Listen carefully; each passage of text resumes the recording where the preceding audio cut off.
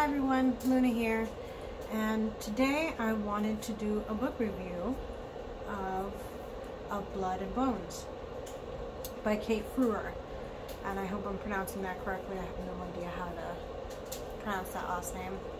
It is spelled F-R-E-U-L-E-R, Fruler, by Kate Freuler. And I'd show you the book, but I actually have somebody borrowing it right now. And I mentioned it a couple of times in uh, in my past videos when I was reading it back in December. And I'm reading it in a book club that Brittany from the Sunshine State Witch started. And there's like 20 of us, and we've been reading new books every month.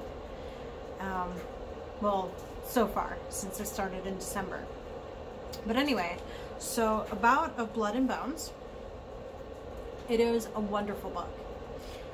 It goes more into the darker side of magic. It's not all love and light, so there are some curses and hexes in there, but it does give a disclaimer about using those kind of spells as a last resort. And one thing that I liked was in the very beginning it said, you don't get to choose how someone reacts to your spells. And this applies to both curses and love magic. And another thing that I really liked was a couple pages in, is asking yourself the purpose of this spell. Is it good for everyone? Is it harming more people than it helps? Does it benefit the whole picture? These are questions to ask yourself concerning your own ethics. And that's if you're wondering, oh, should I do this? Should I do that? Kind of go into yourself and think about why you want to do this. If it's something frivolous that you can possibly figure out on your own instead of using magic, it's more prudent, I guess would be the word, to do the mundane first.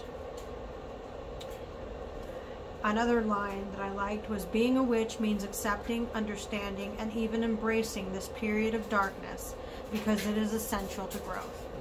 So it talks about the dark moon current and those energies that coincide with dark moon energy and how sometimes we have to see deeper within and deal with things that we're not too happy to deal with. But it gives you that introspection. So there were a couple of things in the book. There's the, you know, the, the positive correspondences for crystals. There's the negative or the darker correspondences for crystals in there how to properly collect dirt, like graveyard dirt or just dirt in crossroad from liminal spaces, pretty much. And gives a list of correspondences with animals, since you it also gives you ways to clean the bones of said animals.